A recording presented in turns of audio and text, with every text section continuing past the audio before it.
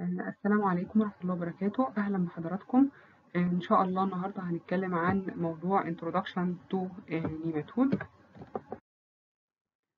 إن شاء الله في الموضوع ده هنتكلم عن آه، أول حاجة يعني إيه nematodes آه، تاني حاجة هنتكلم عن ال general characters بتاعة ال nematodes وإزاي بتع... آه، نبقى عارفين إن دي نيماتود ولا لأ وبعد كده هنعمل لها classification ونقسمهم according لل habitat بتاعتهم أو هما بيعيشوا فين في جسم الإنسان. آه، في البداية أنا جايبة لكم صورة بتوضح واحدة من ال nematodes اللي هي موجودة عليكم عشان بس توضح لكم يعني إيه كلمة نيماتود. آه، نيماتود دي واخدينها من كلمة nema وال nema ديت يعني معناها خيط. فهي الديدان دي بتبقى عاملة زي الإيه زي الخيط كده مختلفة طبعا خالص عن اللي إحنا كنا واخدينه في الإيه في ال trematoda وال Cestoda إن كانت بتبقى الديدان مفلطحة. لكن هنا الديدان اسطوانية عاملة زي الإيه اسطوانة كده. آه، لما نشوف نتكلم عن ال general characters بتاعة النيماتود هنشوف كده المواصفات بتاعتها آه، عاملة إزاي. دي المواصفات بتاعتها. أول حاجة ال size وال shape. آه، هي شكلها إيه؟ شكلها ديدان إسطوانية elongated طويلة و cylindrical إسطوانية و bilaterally symmetrical يعني من ناحيتين شبه آه، بعض. آه، وإن هي unsegmented يعني ما نن- ننسى بقى الموضوع ال segments زي بتاعة الايه ال Cestoda كده ما كانت متكونة من إيه من segments immature و mature والكلام ده. لا هنا كلها على بعضها كده أدي جسمها أهو ما فيهوش أي segments آه، حجمها ممكن توصل من واحد ملي تكون صغيرة جدا آه، وشايفين منها بعض حاجات آه، ممكن توصل بالملي اهي وممكن توصل لواحد آه، متر. آه، يعني ممكن آه، توصل آه، لحجم كبير جدا. ودي مثلا ممكن توصل ل عشرين وخمسة وعشرين سنتي المثال اللي قدامي ده. آه، فحجمها بيتراوح من واحد ملي لواحد متر. آه، لما نيجي نتكلم عن جسمها بقى إحنا شايفين آدي الدوده اهي وإحنا خدنا فيها قطاع كده بالعرض كده يعني جينا قصيناها كده من من الع- بالعرض وبد- وبدأنا نشوف هي جسمها ده الطبقات بتاعته إيه. فنبص عليها هنلاقي آدي الطبقات بتاعه الجسم. أول طبقة من بره خالص اللي هي زي الجلد كده بنسميها إيه؟ بنسميها ال cuticle. ال cuticle ده بيبقى تخين سك و resistant ومقاوم يقدر يحافظ عليها. آه، بعد كده بعد طبقة ال- ال cuticle دي الطبقة اللي بعدها الغامقة شوية ديت أصفر غامق شوية بنسميها ال syncytial subcuticular layer يعني طبقة تحت زي تحت الجلد بتاعنا. بيبقى فيه آه، حاجة اسمها subcuticular layer في الديدان ديت آه، ودي بتبقى آه، يعني thin شوية. بس هي بتيجي في آه، أربع أماكن وبتتخن. بتعمل حاجة اسمها cords. ال cord ده بيبقى بطول ال parasite نفسه. فأدي أدي واحدة من ال cords وأدي التاني وأدي التالت وأدي الرابع. آه، بيبقى واحد منهم بيبقى ventral يعني أمامي وواحد بيبقى dorsal يعني آه، في ظهرها واتنين بيبقوا lateral cords. آه، بعد كده الطبقة اللي بعدها على طول اللي هي باللون ال- الوردي ده آه، بتبقى آه، عبارة عن عضلات. العضلات ديت آه، بتنقسم بقى بال cords دي ال cords دي هي اللي قسمتها لأربع مجموعات. يبقى أدي مجموعة وأدي مجموعة وأدي مجموعة ودي مجموعة. يبقى عندي أربع مجموعات من الايه من العضلات. يبقى كده ده ال wall بتاع جسمها بعد كده بقى في cavity في cavity يعني تجويف تجويف الجسم نفسه. في بقى إيه؟ في ال structures اللي هتكون موجودة جوه الجسم. وفي ودي عايمة في سائل. يعني موجودة إحنا لما نقطع الدودة دي يطلع منه سائل كده. السائل ده هيعايم فيه بقى الايه؟ الجهاز الهضمي بتاعها ال digestive وال reproductive system الجهاز الايه؟ التناسلي بتاعها وال excretory system بيبقى موجود في الايه؟ في ال cords الموجودة هنا دي. فيبقى في عندي في في ال lumen ده عندي digestive وعندي إيه؟ reproductive system. يبقى ده ال structure بتاعها اللي هي متكونة منه. يبقى إحنا عرفنا شوية إن هي متطورة حبة عن ال Trematoda وعن ال Cestoda. إحنا كناش ما كناش بنجيب سيرة digestive system متطور كده في ال Trematoda وال وفي ال Cestoda ما كانش فيه أصلا digestive system فكانوا يعني بدائيين شوية عن إيه؟ النيماتودا. يبقى النيماتودا أكتر تطورا آه بعد كده عندنا آه أول حاجة نتكلم بقى عن إيه؟ ال digestive ال digestive system هو صحيح هي النيماتودا متطورة شوية لكن هي ما زالت برضه كائنات بدائية. فهي بتبقى عبارة عن إيه؟ بتبقى آه أنبوبة آه الأنبوبة ديت واحدة كده كلها على بعضها بتبدأ بيها آه هي عبارة عن الايه ال alimentary canal وبتتكون من فتح الفتحة الأمامية بنسميها ال mouth وبعدين بعدها المريء ال esophagus بعد كده في عندي الأمعاء ال intestine وفي النهاية بتفتح بين الايه ال anus في ال female وال cloaca في ال male.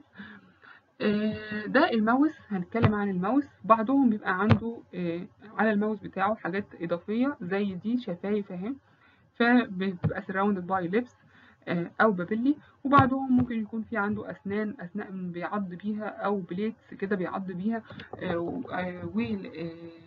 زي مثلا ال hookworms هنا مثال مثلا الأسكارس وهنا مثال الهوك وورم آه، تاني حاجة بعد الماوس على طول بيبقى عندي حاجة اسمها المريء اللي هو الأسوفيجاس آه، شكل المريء ده اللي هو باللون الأحمر ده شكله بيختلف من آه، هو عبارة عن أنبوبة برضه عضلية والأنبوبة العضلية ديت شكلها بيختلف من دودة للتانية. ففي بعضهم بيكون شكله club shape club shape يعني شبه المضرب آه وهنبقى حافظين طبعا الأسماء ديت إن هو آه ال club shape esophagus بنلاقيه مين بنلاقيه في الأسكارس ونلاقيه في ال hookworm آه بعضهم بيبقى double bulbed يعني الجزء الأمامي club shaped والجزء الخلفي بيبقى دائري كده.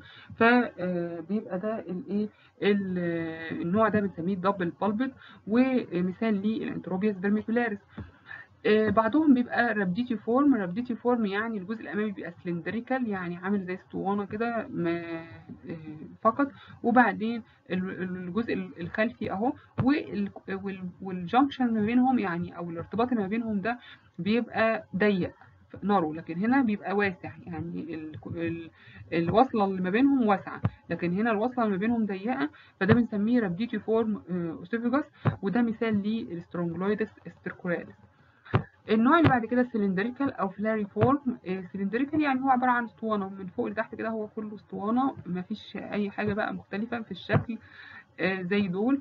فبنسميه إن هو cylindrical ده بنلاقيه في الايه في ال filarial worms وفي نوع بقى بيبقى cellular يعني متكون من خلايا صف من الخلايا موجود كده في بطول ال oesophagus وده بيبقى موجود في ال Trichinella spiralis وال Trichuris trichiura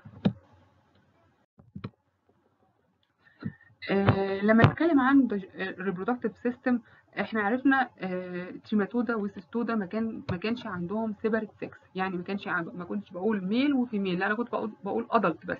وال adult كانت فيها ال structures بتاعه ال genital system بتاع ال male وال female آه سواء هي إيه Trematoda أو Cestoda لكن في النيماتودا أكثر تطورا بيبقى في عندي separate sex يعني بقى عندي ال sex male و female بقى في عندي دودة عبارة عن male ودودة ثانية بتبقى female ال characters بقى بتاعت ال male reproductive system هنبص نلاقي؟ ان ال male ده طبعا هو بيبقى بيتميز ان, إن هو أصغر شوية من ال female وال posterior end بتاعته بتبقى curved زي ما إحنا شايفين كده متنية بالمنظر ده ال female بتبقى أكبر منه وبتكون ال posterior end بتاعتها بتاعتها مفرودة فهنا ال male ال reproductive system بتاعه بيبقى في ال posterior third بتاعه في نهاية الجسم كده وبيبقى عبارة عن أنبوبة هي أنبوبة واحدة والأنبوبة ديت بتبقى بتتكون من كل جزء منها بيبقى له مسمى فبيبقى في عندي testis اللي هي الخصية وبعد كده في عندي ال vas deferens وال seminal vesicle لحد في النهاية ما بيبقى في عندي فتحة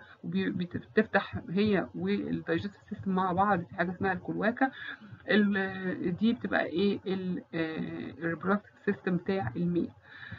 ال male بقى فيه عنده كمان حاجات بتساعده في أثناء ال copulation في بقى في عنده أشواك أو بيبقى في عنده bursa دي هنشوفها في الأنواع بقى المختلفة اللي إحنا هندرسها. هنوضح عنده إيه إضافي.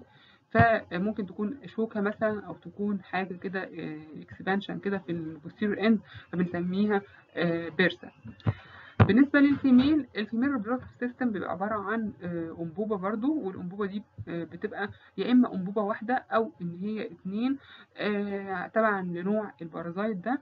والأنبوبة ديت هي نفسها بقى بنقول عليها جزء منها بنقول عليه ال ovary. وبعد كده في عندي oviduct seminal receptacle و receptacle وال uterus وال vagina وبيبقى في عندها فتحة آه اسمها ال vulva غير فتحة ال anus. ما بيبقوش متحدين مع بعض.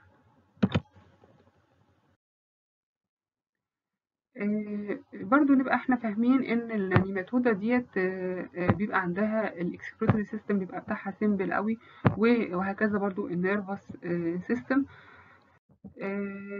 يهمنا برضو نعرف إن النيماتودا متقسمة ل النيماتودا اللي بتعدي الإنسان أو بتعمل infection في ال human بنقدر نقسمها على حسب ال habitat بتاعتها اللي هي بتعيش فيها بتعيش فين في جسم الإنسان ده لحاجات بتعيش في ال intestine في الأمعاء أو حاجات بتعيش في ال tissues في الأنسجة. فالحاجات اللي بتعيش في ال intestine يا إما عايشين في الأمعاء الدقيقة small intestine أو عايشين في الامعاء الغليظه large intestine اللي عايشين في... طبعا إحنا هنحفظ الأسماء ديت آه وهنبقى عارفين هما بيعيشوا فين.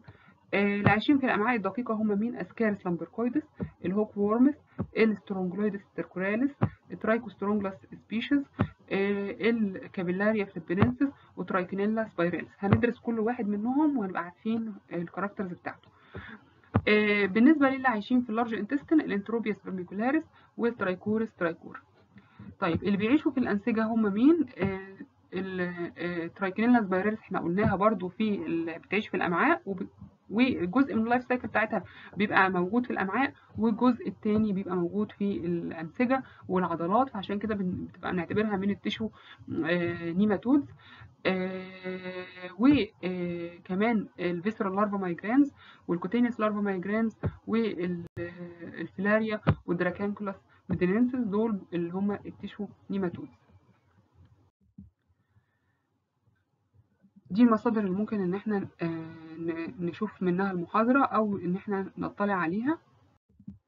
وفي النهاية أنا بشكر حضراتكم والسلام عليكم ورحمة الله وبركاته.